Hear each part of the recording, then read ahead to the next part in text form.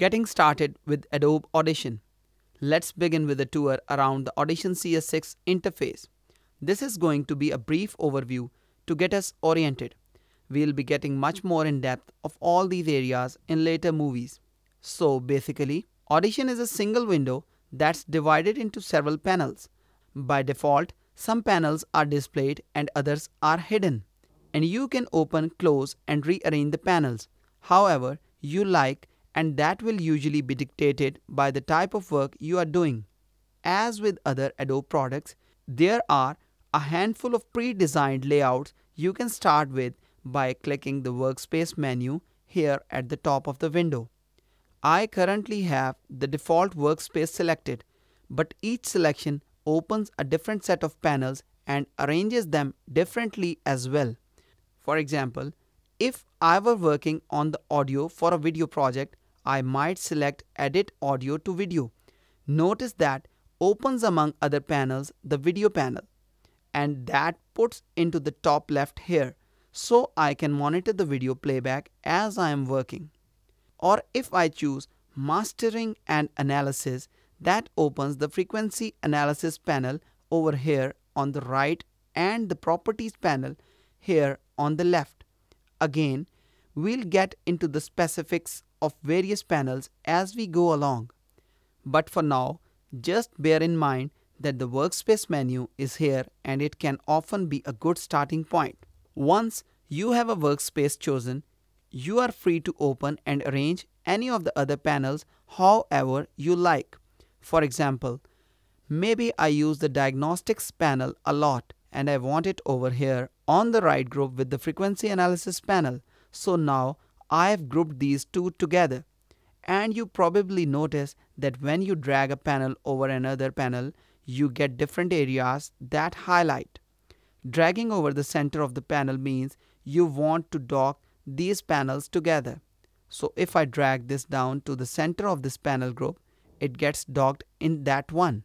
You can also drag the panel to the top bottom or sides of any other panel group and that indicates that you want the panel to be on its own instead of grouped with the other panels.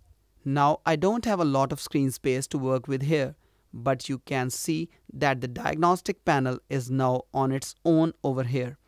So if I place my cursor between them, I can adjust the width of both of panels. Now you can also drag a panel to the very top or bottom of the audition window if you wanted to take up the entire width of the window.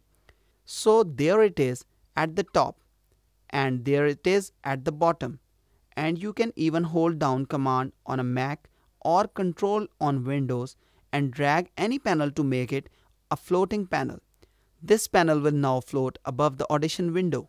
Now because of this freedom to move panels around, you can see how easily it can be to really make a mess of things.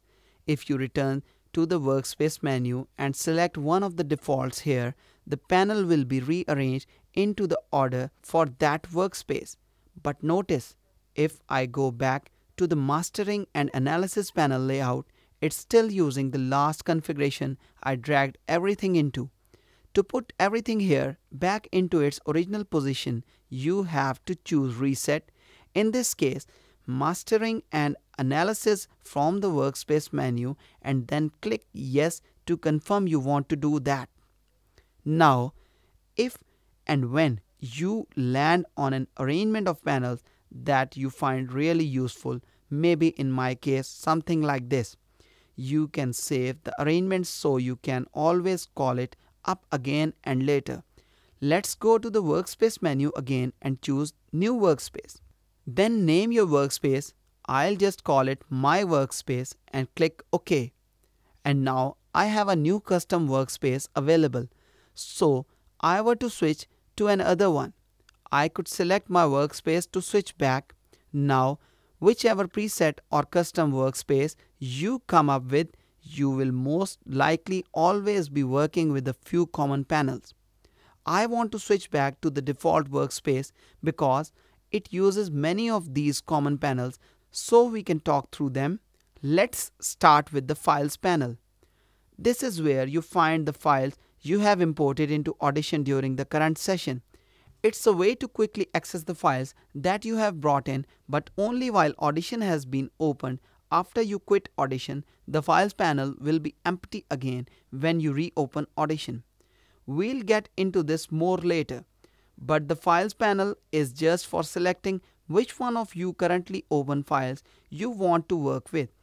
Now don't confuse that with the Media Browser, which is a panel that lets you browse for and open files anywhere on your computer. For instance, I might go into my Macintosh hardware, my users folder, my home folder and my desktop and here I can find a file that I have sitting on my desktop. Any files that you open through the media browser, I am just going to double click it. Those files get added to the files panel. We'll talk more about the different ways to import content into an upcoming movie, but this is just the one of the ways. The effects rack is where you add and combine effects, filters to your tracks. We'll have an entire chapter on effects a little later.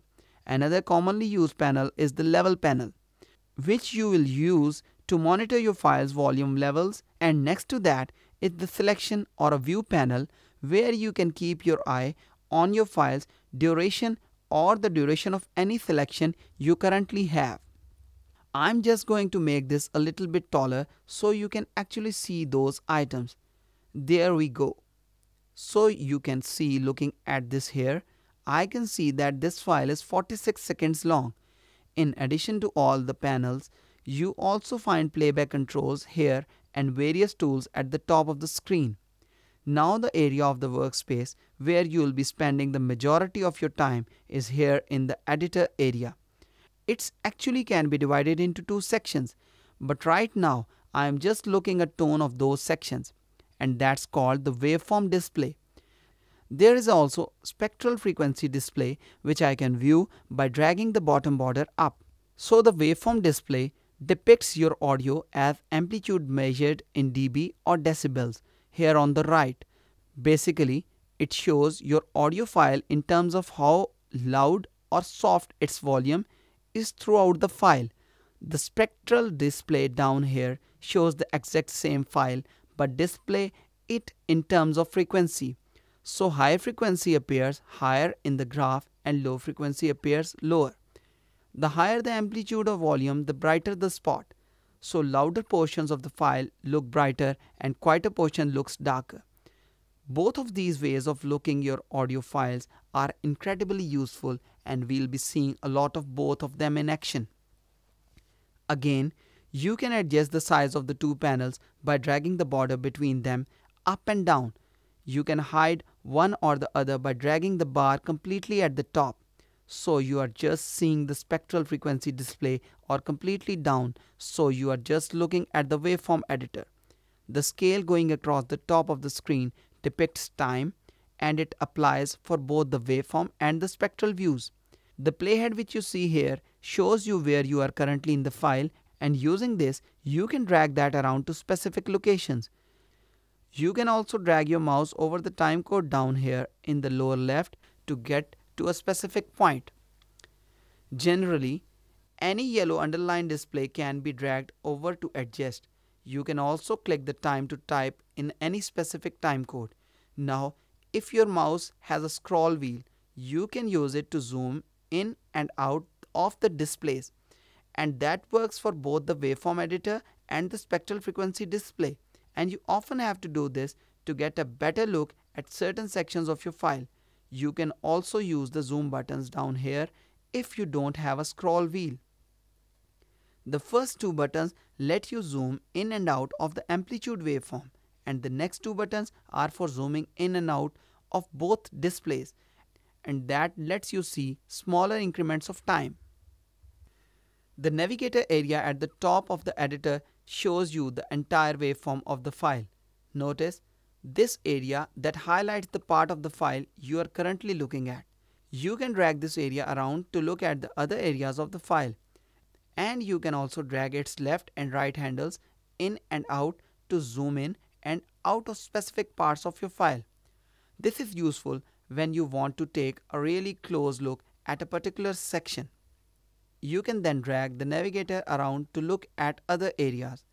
To zoom all the way back out, click the zoom out, all buttons down here or the same button is actually found here next of the navigator as well.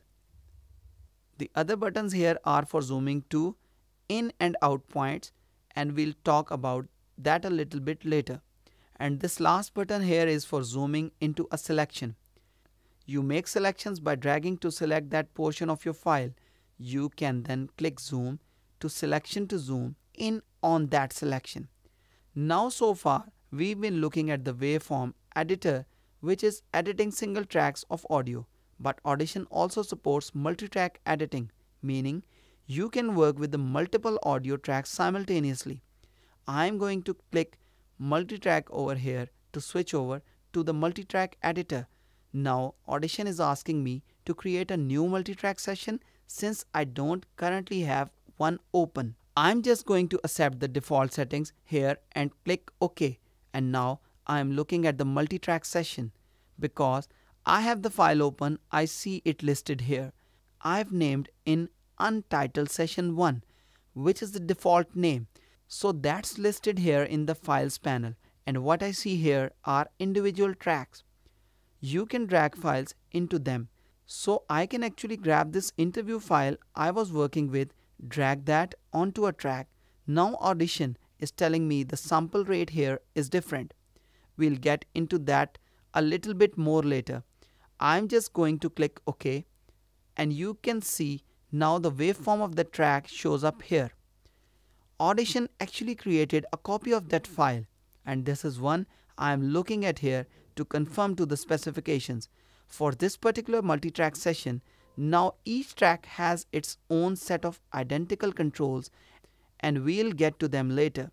We still have the time display and the navigator across the top of the window here but there's no spectral display in multi-track view. That's only for editing individual tracks. We'll see how easy it is to work between the two main editing views. So there you have an overview of the audition interface again. We'll be getting into much more details in all of these areas as we continue through this course.